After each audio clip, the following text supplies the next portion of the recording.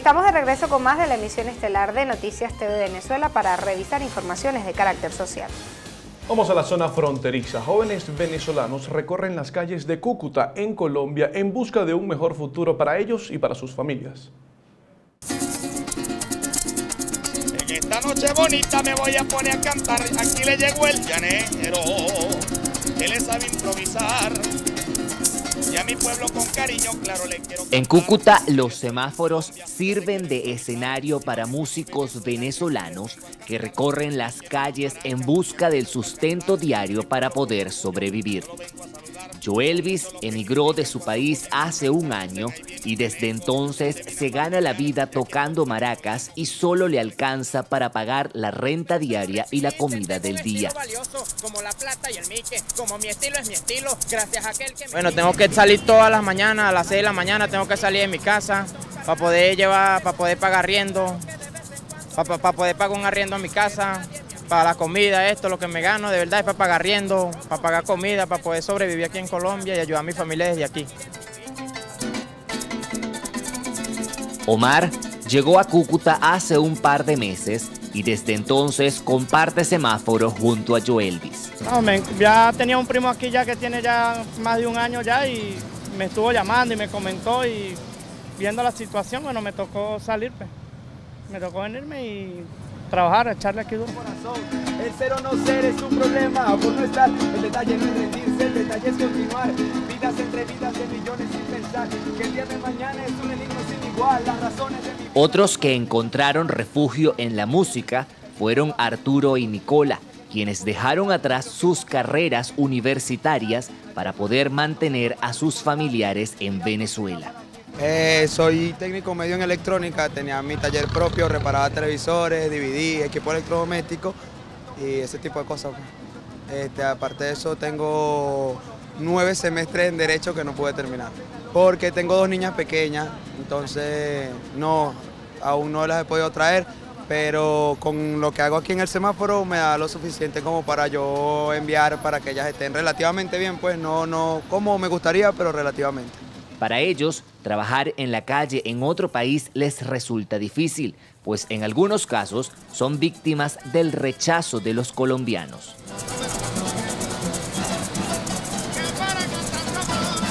Cierta gente que desde lejos nos hace que no, no, no canten, pero no. La mayoría siempre nos acepta, le gusta la música, ven las dos arpas, o sea, le gusta el arte, el folclore, gracias a Dios. Y como aquí, allá y ya no, Venezuela y se unen. Mucha gente, la gente le gusta también. Pues. Todos ellos, con instrumento en mano, tienen algo en particular. Salieron de Venezuela, pero anhelan regresar a su país. Eso es lo que, lo que deseo cada día, lo que aspiro y, y me levanto pensando en eso porque deseo regresar a mi país. Porque quiero o sea, como formar parte de, o, poner ese granito de, arena que falta para sacar a nuestro país adelante. Yo sueño todos los días con, ese regreso, con ese momento en el cual me digan, se acabó la pesadilla, eh, se acabó la dictadura y salir corriendo. Vivo todos los días con mis maletas hechas, definitivamente, desde ese momento que, supe que había una esperanza, hice mis maletas y yo dije, el día que sepa que cayó este régimen, tomo mis maletas y sea la hora que sea, me voy a la frontera y, y si es de esperar y amanecer al día siguiente, ahí estaré para cruzar dichosa a mi país nuevamente, a pisar mis tierras. Desde Cúcuta, en Colombia, informó Sherman Martínez.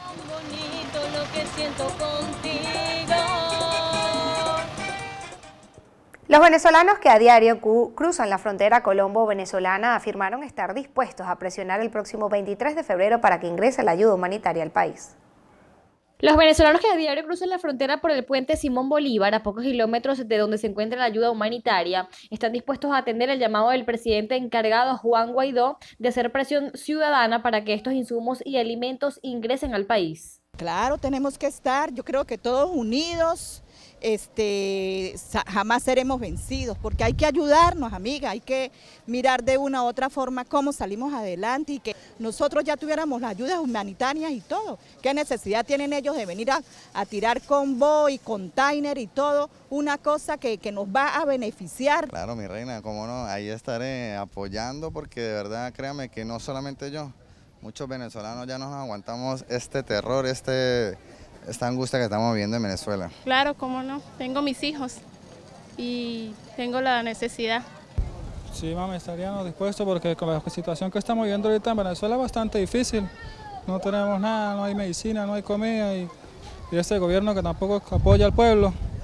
Estamos dispuestos a salir a apoyar a Guaidó. En paralelo, estos venezolanos rechazan la declaración de la vicepresidenta Delcy Rodríguez, en la que aseguró que esos alimentos vienen envenenados de Estados Unidos. Hay una leche del CLA que es tan extremadamente salada que la prohíben los mismos personas, los mismos equipos del gobierno que hablan de insumos vencidos, igualito qué calidad de vida nos da ellos a nosotros. Yo opino que no, son simplemente eh, especulaciones del gobierno venezolano como para que ellos ante los ojos del mundo crean como si ellos fueran las víctimas.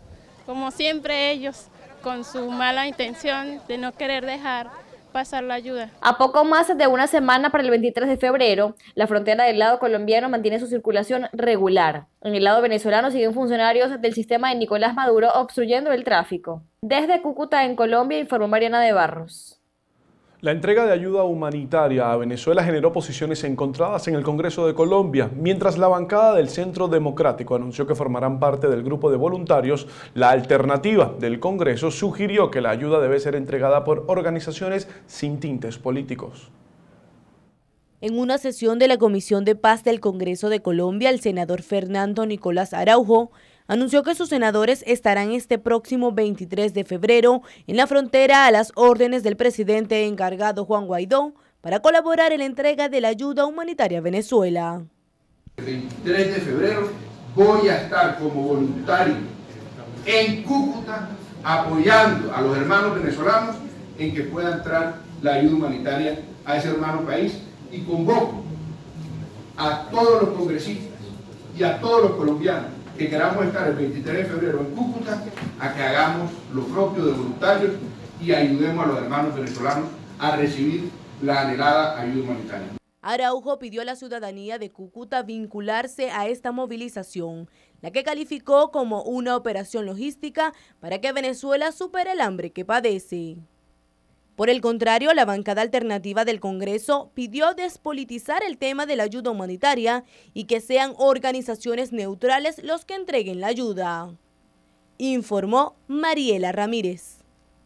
El gobierno brasileño prorrogó la permanencia de tropas federales en el estado de Roraima fronterizo con Venezuela a fin de reforzar la seguridad tras la llegada de miles de venezolanos que huyen de la grave crisis que atraviesa su nación. El Ministerio de Justicia y Seguridad Pública de Brasil determinó a solicitud del gobierno regional prorrogar la presencia de agentes de la Fuerza Nacional en Roraima por 60 días más, contados a partir del próximo 27 de febrero, con el propósito de reforzar la seguridad en el estado tras la llegada masiva de los venezolanos a la entidad fronteriza. La presencia de dicho efectivo se debe al actual cuadro de inestabilidad en la seguridad pública en virtud de la crisis migratoria y en el sistema penitenciario. Recordemos que el estado de Roraima, uno de los más pobres del país, ha sido la puerta de entrada en los últimos años de miles de venezolanos que huyen de la crisis política, económica y social de la nación y será además escenario de uno de los centros de acopio de ayuda humanitaria solicitado por el presidente encargado Juan Guaidó. El presidente de Alemania, Frank Walter Steinmeier, calificó de dramática la situación humanitaria en Venezuela. Exigió elecciones libres en la nación suramericana. El presidente de Alemania, Frank-Walter Steinmeier, afirmó en Bogotá que espera que en Venezuela se evite una guerra civil al considerar correcta la posición del presidente encargado de Venezuela, juramentado ante la Asamblea Nacional, Juan Guaidó, de pedir unas elecciones que permitan un cambio político en su país. Y yo creo que el señor Guaidó tiene la posición correcta cuando dice que se necesita un cambio político y yo necesito una legitimación política por elecciones. Por lo tanto, ayer en una declaración pública yo dije que esas elecciones presidenciales ojalá se realicen y que el camino hacia estas elecciones no sea caracterizado por eh, actos de sangre o por situaciones similares a una guerra civil. El mandatario alemán se reunió con su homólogo Iván Duque en la Casa de Nariño, sede del Ejecutivo colombiano, y aseguró que su país le preocupa la crisis humanitaria en Venezuela que ha obligado a más de 3 millones de personas a huir debido a lo que hace es una mala gestión económica que llevó al país a la bancarrota. La situación humanitaria en Venezuela es dramática. Una autocracia y una mala gestión económica llevaron a que Venezuela, un país que de por sí es solo, llegó al abismo, a la bancarrota y la gente reacciona de una manera bien entendible, unos a través de manifestaciones y otros saliendo del país. Además de la situación en Venezuela, los presidentes abordaron temas para lograr un acuerdo de desmonte de la doble tributación, fortalecer el comercio bilateral y una expansión de energías renovables en la que participen empresas alemanas. Y volvemos con nuestra compañera Sofía Pisani, quien conversó con congresistas estadounidenses y con el representante diplomático de Juan Guaidó en Estados Unidos, Carlos Vecchio. Exigen el ingreso de la ayuda humanitaria a Venezuela.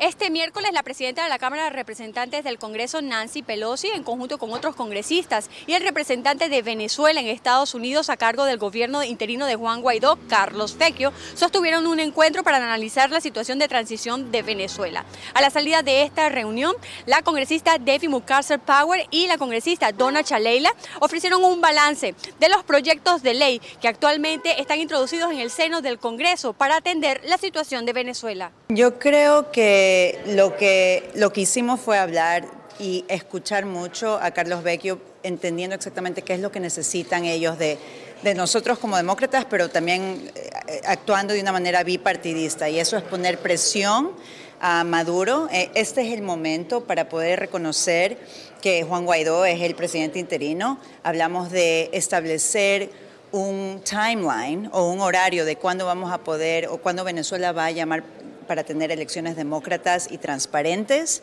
Eh, hablamos mucho de diferentes proyectos de ley que nosotros hemos introducido, la mía que pide asistencia humanitaria, hablamos un poco de cómo poder asistir en mandar esa, esa, ayuda humanitaria. Bueno, yo no sé lo que piensa todo el Partido Demócrata sobre esa opción, pero te digo que yo personalmente quiero hacer lo que, lo que tenemos que hacer para ayudar a Venezuela a restaurar la democracia y si Maduro tiene que irse a un país aliado para no escalar la violencia y ayudar al pueblo venezolano, entonces yo estoy de acuerdo con eso, porque lo que tenemos que hacer ahora es dar asistencia humanitaria, necesitamos mandar alimentos, medicinas, la gente se está muriendo y eso tiene que parar.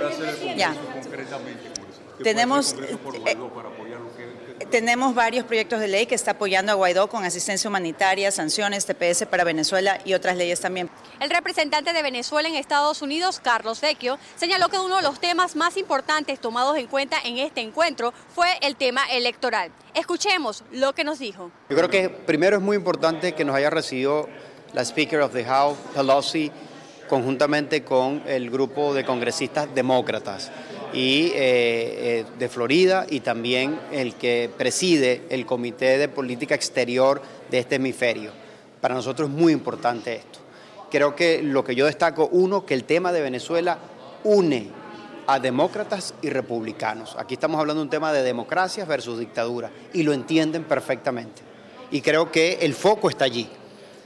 Puede haber matices, pero lo importante es uno, que rechazan la dictadura de Nicolás Maduro, dos, reconocen el gobierno legítimo de Juan Guaidó y tres, hay que parar el sufrimiento de los venezolanos. Y ahí hay un acuerdo. Y por eso le dije directamente al speaker eh, Pelosi, le dije que su eh, pronunciamiento el pasado viernes fue muy oportuno, llegó en el momento indicado y con las palabras adecuadas. Entonces yo destaco eso. Segundo punto que destaco. Le dije a ellos que necesitamos el apoyo para incrementar la presión frente al régimen de Maduro que tenemos una gran oportunidad y el momento de hacerlo es ahora, que esto es un proceso de los venezolanos, liderado por nosotros, pero que necesita el apoyo de la comunidad internacional porque tenemos regímenes como el de Cuba, como el de Rusia, que están allí.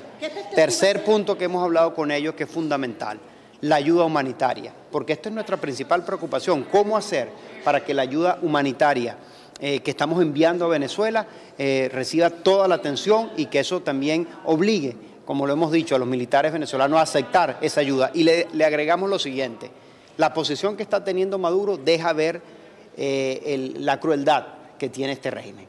Yo le dije, claro, que Maduro no le importa la comida y la medicina que se está enviando, porque no la necesita porque él tiene medicina y tiene comida y sus familiares también, entonces no le importa a la gente y, es, y, no le importa que mueran los venezolanos con tal de mantener esos privilegios y que por lo tanto había que elevar la atención sobre la crisis humanitaria en Venezuela. Y el último punto que le planteamos, le dijimos, mire, nosotros lo que queremos traer aquí es un cambio democrático, restablecer la democracia, relanzar nuestra economía y darle estabilidad social a Venezuela.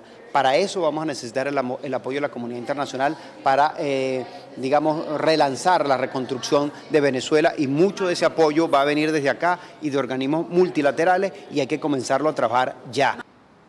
Para este jueves está previsto, se lleva a cabo en la sede de la Organización de Estados Americanos una conferencia mundial que por primera vez se realizará para brindar detalles de la logística para el ingreso de la ayuda humanitaria a Venezuela. Desde Washington DC les informó Sofía Pisani.